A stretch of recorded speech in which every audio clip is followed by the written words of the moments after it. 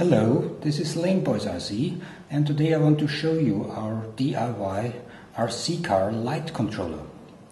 It works in conjunction with a standard three channel car radio remote control. In our case it's a Hobby King HK310. The main lights are switched with uh, channel 3. One switch switches on the parking lights, another switch switches on the low beam, followed by the fog lights and the high beam. In order to switch the light pattern down again, I just have to do a kind of a double click, one, two, one, two. A triple click switches all lights on or off. And four clicks switch on the hazard lights.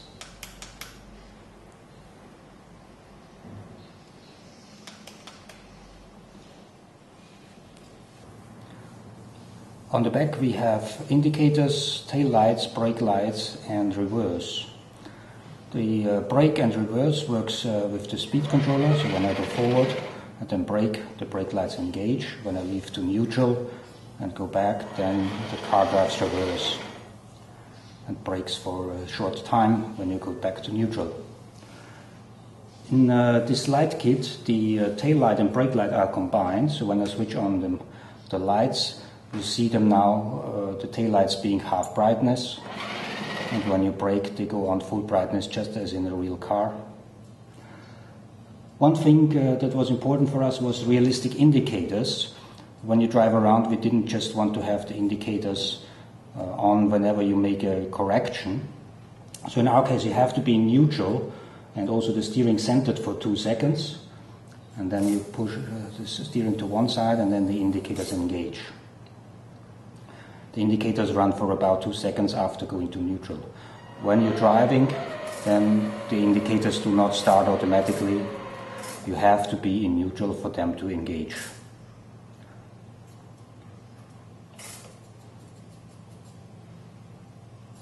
Our light controller also has an output to control a steering wheel servo, a tiny servo that's built in the body and that connects to your main steering for more realism while driving.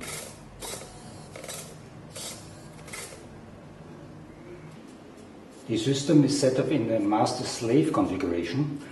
There is one piece of electronics in the receiver box of the Axial SCX10 chassis just under the battery here, together with the receiver. This one is basically the brain of the whole light controller unit. It uh, reads the steering servo, the throttle channel and the channel 3 and processes them accordingly. And it also con controls all the lights that are in the bumpers of the chassis on the front and the back. There is then a single servo extension cord between the chassis and the body that transfers power and the control signals to a secondary light controller. The secondary controller is actually the same electronics as the main master, however it contains a different firmware. Uh, the single cable makes a very neat uh, cabling process as well as uh, easy to take apart uh, in the field and to maintain it. The slave light controller is controlling this tiny steering servo here that connects directly to the steering wheel and also all the wires are running around the body to the individual LEDs in the front and the back. For the wiring I used enamel wire which is very very tiny and isolated and easy to solder and is ideal for, for this kind of job because even a strand of eight wires is only about one millimeter in diameter. I hope you liked this video. If you have any questions, please post them below. And uh, please visit our blog because there you can find all the instructions, the schematics, more details, and even all the firmware so to build your own light controller. Thank you.